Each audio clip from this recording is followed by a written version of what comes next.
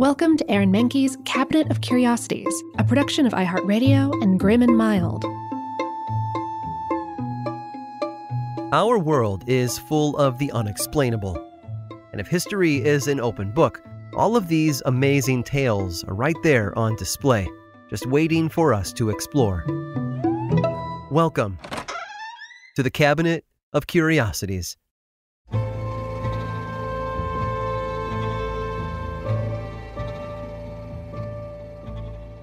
After his second term in office in 1797, President George Washington refused to run for a third term. He believed two terms were enough for any president. Every person who took office after him adhered to what was then an unwritten rule about the position. Until Franklin Roosevelt in 1933, each president only served at most two terms before vacating the office. Roosevelt famously won four elections, serving longer than any president before or since. Sadly, he passed away in 1945, not long after his fourth term began. In 1947, the 22nd Amendment was ratified, stating a president could not be elected to office more than twice. Not every president made it to the end of their second term, though. Abraham Lincoln, for example, was the first president to be assassinated while in office, and some didn't even reach the end of their first term. William Henry Harrison lasted only a month into his presidency before dying of typhoid pneumonia in April of 1841. History books claim his was the shortest term on record. But was it? David Rice Atchison might have disagreed. Atchison was born in Lexington, Kentucky in 1807. He grew up a staunch supporter of slavery and eventually the Confederacy during the American Civil War. He wasn't always a political animal, though. Atchison got his start as a lawyer in Missouri. He ran his own practice and gained fame for representing Mormon founder Joseph Smith in a number of land dispute cases. Atchison, though, had grander plans for himself. He rose through the political ranks, first in the Missouri House of Representatives, then as a circuit court judge. In 1843, he became the youngest U.S. senator to ever hail from the state of Missouri. Atchison was so well liked by his party that they elected him in 1845 as president pro tempore. It meant that in the event the elected president and vice president could no longer serve the duties of their office, he would have been the third in line to assume the role. He was 38 at the time. For the next several years, he served as president pro tempore without incident. From John Taylor to James K. Polk, the former lawyer from Missouri carried out his job in the Senate, never believing that he would ever ascend to the highest office in the country. Until something strange happened in 1849. You see, before the 20th Amendment of the Constitution was ratified in the 1930s, presidential terms began at noon sharp on March 4th rather than on January 20th, as they are today. On that day, at that time, the previous administration was automatically stripped of all its power, and the new administration assumed those responsibilities. In 1849, though, Inauguration Day happened to fall on a Sunday. Zachary Taylor had just been elected as the 12th President of the United States, but refused to be sworn into office on the Sabbath. Instead, he waited until the following day, March 5th, which meant that the position of President of the United States would be vacant for 24 hours. Not if you were David Rice Atchison, though. With the presidency and vice presidency both empty, that left Atchison as next in line to assume the title.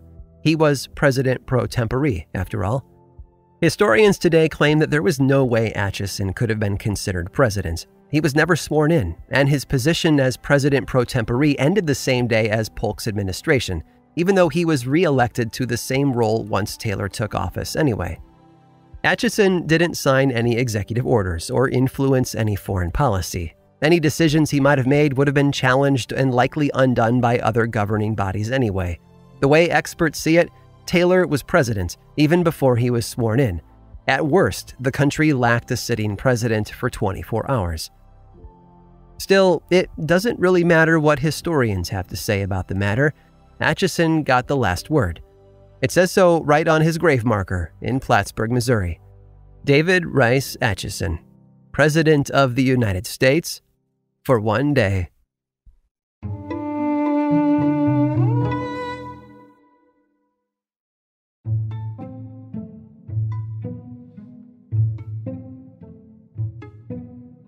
When the people are dissatisfied with their elected officials, they have one of two options They can either vote them out or revolt, but a group of 17th century Dutch citizens managed to come up with a creative third option.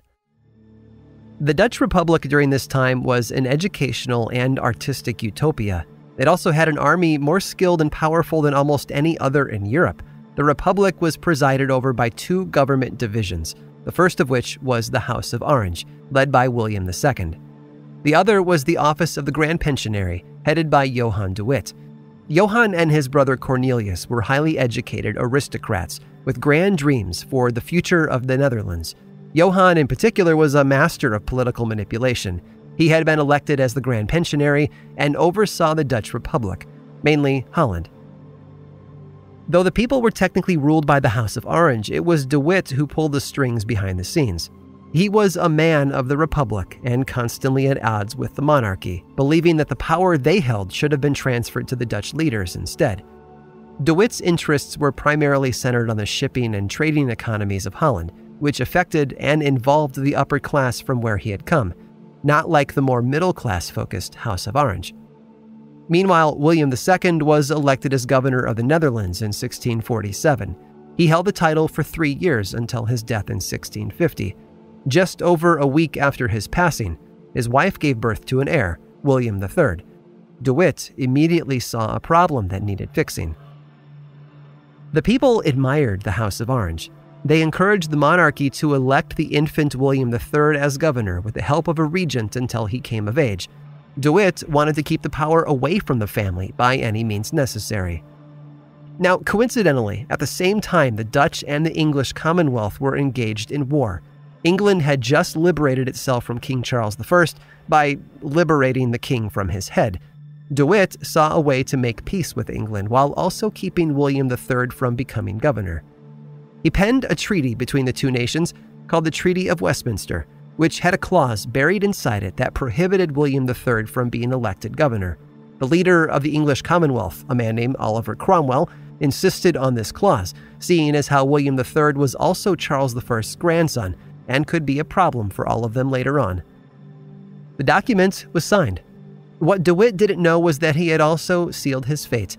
He worked hard over the next several years to have the position of governor wiped out. His power and influence grew, as did his party. Unfortunately, De Witt's previous political moves came back to haunt him in 1672. That year, the Dutch Republic found itself under attack from France and England. The Republic fell, and the Orangists took control. And wouldn't you know it, but William III took over as governor anyway, despite De Witt's maneuvering. After a failed attempt on his life, De Witt resigned as Grand Pensionary. His brother Cornelius was arrested by William's forces and sentenced to exile.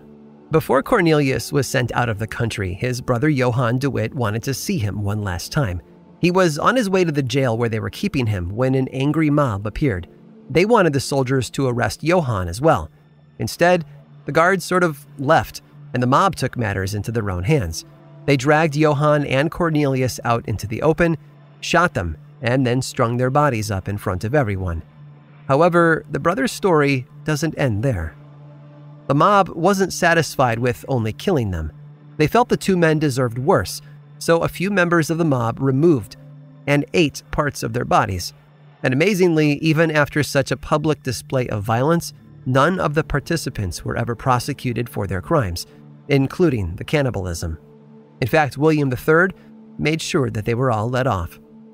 It wasn't the most civilized way to punish elected officials, I know, but it certainly left the crowd feeling happy, and more than a little full. I hope you've enjoyed today's guided tour of the Cabinet of Curiosities.